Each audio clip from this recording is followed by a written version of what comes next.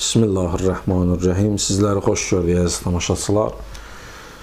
Bir nəfər məscidə gəlib namaz qılmağa başlayır. O qədər yorğun olur ki, namazın sonlarına çatan vaxt yuxuluyur və yanında götürdüyü çantanı yuxu, yuxudan ayılandan sonra baxır görür ki, pul çantası yanında yoxdur. Və ətrafına baxır, göz gəzdirir da görür ki, həqiqətən də pul çantası götürüblər yanından. Və məsciddə Ətrafa baxır, görür ki, məsciddə bir nəfər namaz qılır. Bu namaz qılan şəxs də İmam Cəfər Sadiq əleyhissalam olur.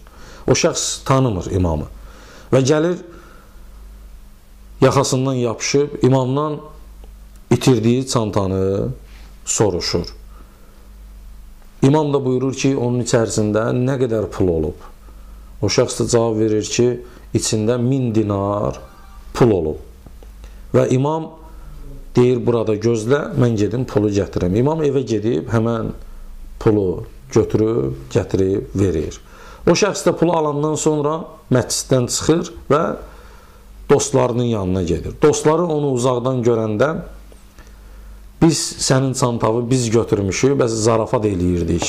Bunu eşidən kimi çox hirslənir dostlarına və bəs mən başqa insanı günahkar bilmişəm, pulumu ondan almışam Bunu deyən kimi geri qayıdır. Gəlir məscidə, baxır görür ki, imam məsciddə yoxdur. Məscidin gözətçisini tapır və ondan soruşur ki, bəs mənim başıma belə bir hadisə gəlib. O da sən namaz qılarkən məsciddə İmam Cəfər Sadiq əleyhissalam olub. O da imamın adını eşidəndə ağlamağa başlayır və imamın evinin yerini gözətçidən soruşur. Və tez gözləmədən imamın evinə gedir, qapını döyür qapını elə üzünə imam açır. Üzr istəyir. Deyir mən bilməmişəm.